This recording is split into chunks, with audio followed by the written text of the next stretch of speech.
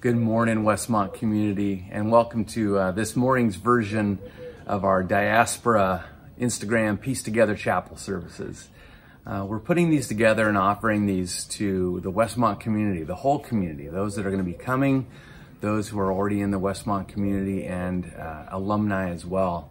And we gather in the name of Jesus Christ to remember that we worship a God who is not caught by surprise by our current global circumstances a God who is very much on the throne and who is with us. We worship a God who is actively involved in world history and always has been.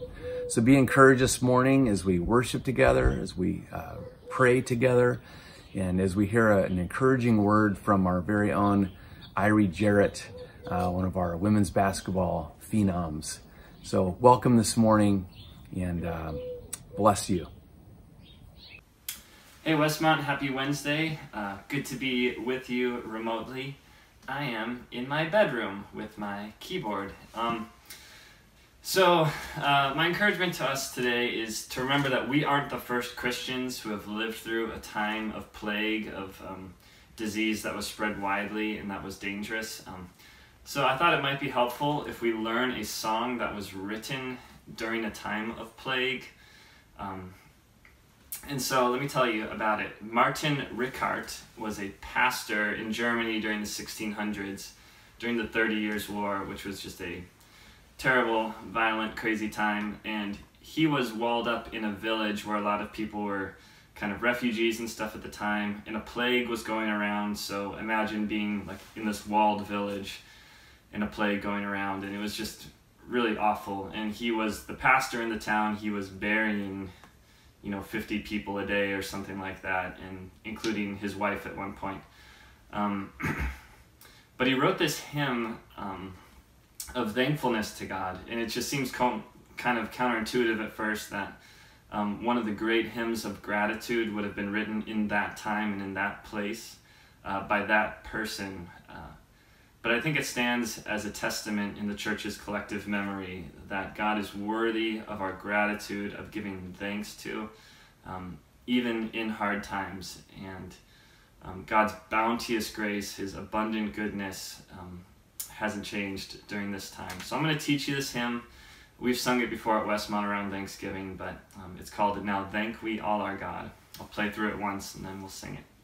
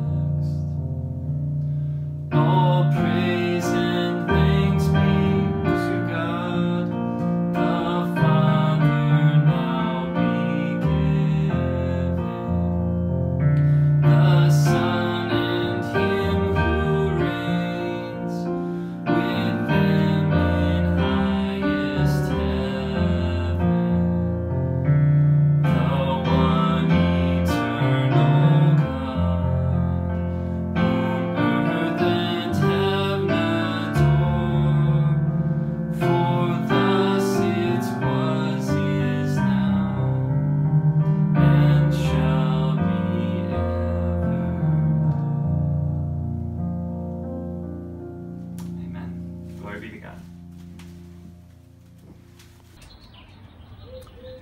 So I want to read this prayer. Uh, a friend of mine, Jim, gave me this book uh, years ago, The Valley of Vision, and it's a bunch of uh, Puritan prayers from quite a while ago. This one is called Refuge, and I thought it was uh, appropriate for our current circumstances. O Lord, whose power is infinite and wisdom infallible, order things that they may neither hinder nor discourage me nor prove obstacles to the progress of thy cause. Stand between me and all strife, that no evil befall, no sin corrupt my gifts, zeal, and attainments. May I follow duty and not any foolish device of my own. Permit me not to labor at work which thou wilt not bless, that I may serve thee without disgrace or debt. Let me dwell in thy most secret place under thy shadow, where is safe, impenetrable protection from the arrow that flieth by day, the pestilence that walketh in darkness, the strife of tongues, the malice of ill will, the hurt of unkind talk, the snares of company, the perils of youth, the temptations of middle life, the mournings of old age, the fear of death. I am entirely dependent upon thee for support, counsel, and consolation. Uphold me by thy free spirit, and may I not think it enough to be preserved from falling, but may I always go forward, always abounding in the work thou givest me to do. Strengthen me by thy spirit in my inner self for every purpose of my Christian life. All my jewels I give to the shadow of the safety that is in thee my name anew in Christ, my body, soul, talents, character, success, spouse, children, friends, work, my present, my future, my end. Take them, they are thine, and I am thine, now and forever. Amen.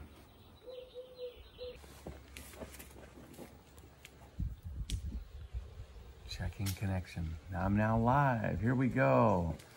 Well, in the nick of time, we almost had some Instagram failure. Uh, welcome everybody to our next Instagram Live mini chapel, and uh, where we're welcoming on uh, the Westmont community, um, students, faculty, staff, alumni, etc. Okay, Irie, I see you're there, and so I'm gonna welcome you in, go live with Irie. So excited about this morning. Should take you just a second to come on. There she is. Irie, how are you? I'm good, how are you? I'm good. It's so good to see you this morning. Jamie's right here next to me. She's filming, but there Hi. she is. uh, we're so glad to see you. Irie Jarrett is our star basketball player on our women's team that was ranked number one in the nation going into the national NAIA tournament. She's also been in Jamie and I's um, Kapok Day Bible study, and she's in our ministry leadership class. And we just know her to be such a delightful young woman of God. And so, uh, Irie, I was just thinking about uh, what to do with some of these chapels, and I thought I really would love to hear from you um, because I just admire your faith so much. But also, you you are walking through, as we all are, real tragedy and loss. And but you've also as a you've walked through that as an athlete and with a wonderful team, navigating this on top of everything else. And so I just thought we could hear from you today and, and hear what the Lord's been up to and. You don't have to tie it up with a pretty bow, but I'd love to hear your your take on what, what you have for us today. All right. Okay. Um, can I start out by praying? Oh, that'd be fantastic. awesome. Dear God, I just uh, I just thank you so much for this Westmont community um, and the ability that we have to just come on here, even if it's Instagram Live, and just gather for chapel.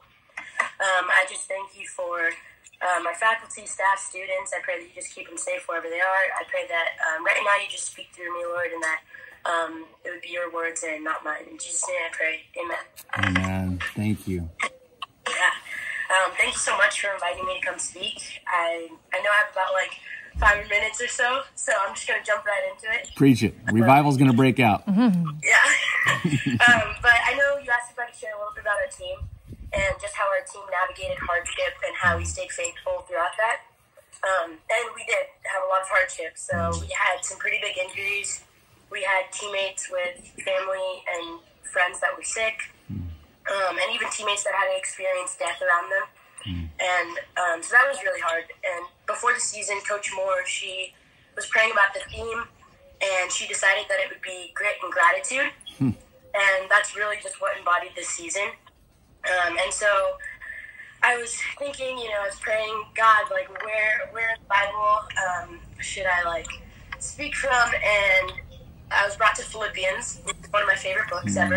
Um, and this really is a book of grit and gratitude. And so, um, like, before we even go through any of it, I think it's super important to note that Paul is like in prison, and he is um, like right in the middle of like some pretty big hardship, and he's not a stranger to hardship, but he's like writing from prison, and yet this book is full of like in, an insane amount of joy. Um, and so I was reading through it, and I noted three things that he did that I would encourage the Westmont community to embody, and three things that I feel like um, our team this year really did embody. So um, the first thing is that he began with gratitude. And so he begins his letter with, I thank my God every time I remember you, and all my prayers for you. Um, I always pray with joy because of your partnership in the gospel. And um, and then later on, you write, do everything without grumbling or arguing, so that you may become blameless and pure, children of God, without a fault in a warped and crooked generation.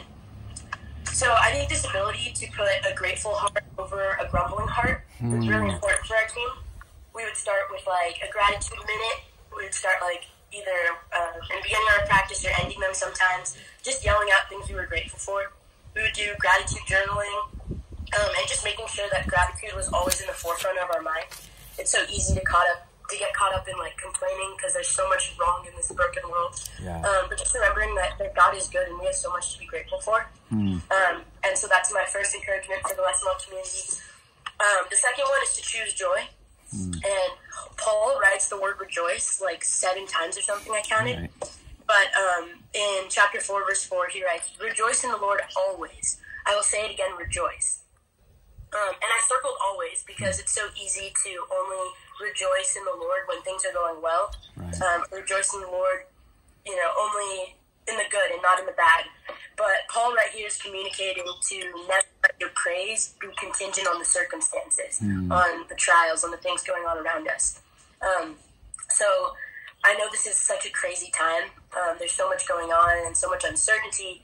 And um, my encouragement is just for us to rejoice, even in the hardship. Um, and the last thing that I noted was to pray for peace. Um, and I truly believe that this is why Paul was able to be locked up in prison in chains and say, I'm in chains for Christ, like I'm here um, because of Christ, and able to not be anxious at all. Um, because this peace talked about in this verse that transcends all understanding is so real. Um, and so, chapter 4, verse 6, he says, Do not be anxious about anything, but in every situation, by prayer and petition, with thanksgiving, present your request to God, and the peace of God, which transcends all understanding, will guard your hearts and minds in Christ Jesus. And so we were so blessed as um, as our basketball team to have this amazing community who who prayed for us. I could just name like hundreds of names, but just like this entire community that that said, you know, these this entire team is really going through like something huge and just took it upon themselves to pray for us continually, like every day. Um, and so this is my prayer for the Westmont community, just that we would um, ask for hearts of gratitude, that we'd be able to begin with gratitude um, our days, and that we would choose joy, even when it's really hard to choose joy, and that we would rejoice, um, even when things aren't going the way that we planned. Um, and lastly, that we would pray for peace. Um, Yeah. You know, I was thinking a lot. Uh, two days ago would have been when we were playing in our national tournament game, and how that all got canceled. And I was thinking about all the athletes who um, don't get to play their senior season, and Um, and then, you know, all the stuff going on with graduation, just these seniors, I was, it was really heavy on my heart. And it was this verse, um, this prayer, just to not be anxious about anything, mm. um, and just this promise that God will give us a peace that transcends all understanding. And even when we don't know the next steps or what's going to happen, um, we can still like rejoice and choose joy, knowing that God is faithful. Yeah. So, oh, yeah. that's such a good word. Such a good word from from an athlete because I think one of the things that's um, so great about athletics is it teaches us that our will I think Dallas Willard says our will is the one thing that the Lord doesn't own. Like we have a choice in what we do. And you're highlighting that so beautifully out of that passage that we have a, a, joy, a, a response and a willful decision to make in how we uh, encounter these things. And you certainly embody that in so many ways. So thanks so much for sharing that with us, Irie. Um, if you'll if you'll stay on uh, for prayer. I, I, love that. And Jamie's going to take over. So we're going to do a swap. I'm going to film for Brad now and watch her. She Here she comes. Boom. Seamless. Hey. Seamless. Hi. Hi, Irie. I just love that so much. Thank you so much for sharing your heart. And for a lot of you who have kind of joined in as Irie was sharing, uh, she's a student at Westmont and as on the basketball team. And went through uh, big changes in the seasons from highs to then kind of letting go of the opportunity of playing as a team in the national tournament. But I just wanted to say that the times I've met with you, Irie, uh, over lunches or, or over the last couple years, that you are uh, so consistently um, true to the word that you just spoke. And you really have a, a beautiful heart and it's infectious. And so what she's encouraged us in is this uh, the team motto of grit and gratitude. And what a word for all of us. You know, not all of us didn't get to play in the national championships through this thing. Maybe we're hunkered down in a house or something like that. Uh, maybe we had to let go of plans that we had. We heard recently, Scott and I were talking about um, where our, our plans are not us. We're, we're more than our plans. And, and you're speaking to so many things that happen. So we just want to pray together as a community before we finish chapel today and pray over those words of your exhortation to the Westmont community to, to have grit, to have gratitude, to have joy. Um, so let's pray together. Let's, let's lift up uh, and I'll just start praying and any of you who want to uh, chime in with words like you're doing now, so many encouragements for Irie right now and just in her words in her heart. But Lord, we lift up uh, our community, at large our world, Lord. First, we lift up to you what's going on in the world and um, this virus and all the caregivers and decisions of leadership going on, Lord. We pray for um, wisdom for leaders. We pray for our world who needs you desperately, Lord. And we come together as a community and we're united in that, Lord, that we need you and we come to you and seek you. Lord, we uh, lift up the Westmont community, all the students, faculty, staff, alumni, all of us coming around this this call right now that are that are unified in you and and we pray for that gratitude, that joyful heart, that prayer for peace. All that that you inspire, Holy Spirit. We welcome that right now and we we pray that over our community. We pray that especially over our students who are switching such gears but that there would be a spirit of gratitude that your Holy Spirit would guide and offer. Yes, I see for patience. I I see for the workers on campus. Um, yeah, I see a lot of prayers going up right now. And we come to you through technology. Your living spirit is with us right now, God.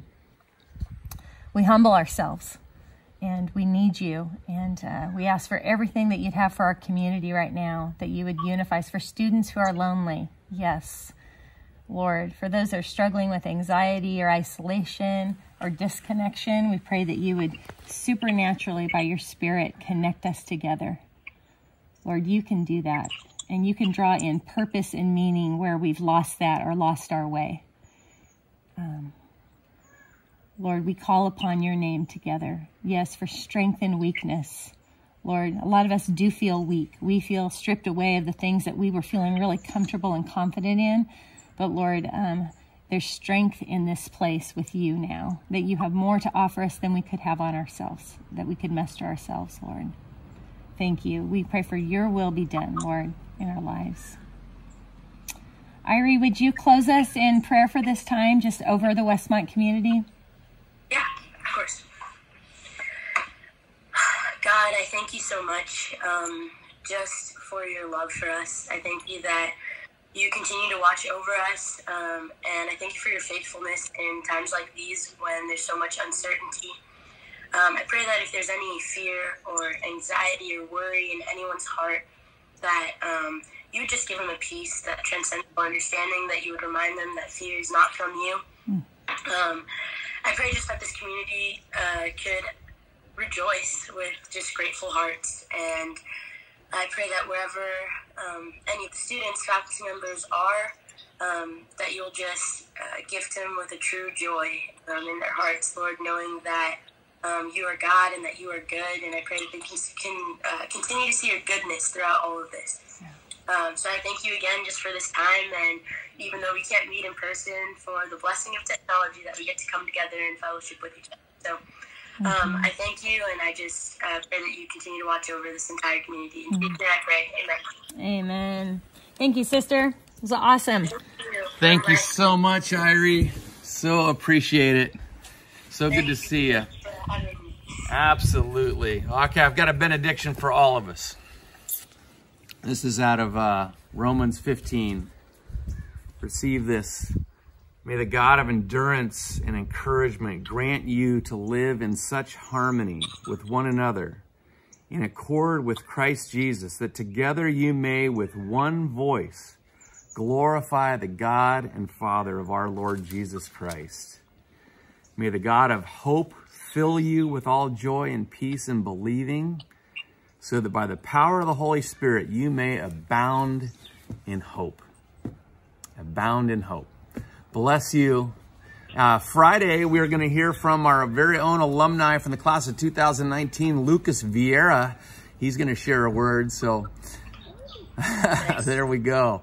All right, Irie, good to be with you. Westmont community, bless you. Remember, you can uh, go onto our westmont.edu, put in campus pastor's office, click down there and look at the chapel schedule, and we'll have these uploaded within 24 hours, and you can share these uh, worship services with other people. Bless you guys. Thanks. Bye, Irie.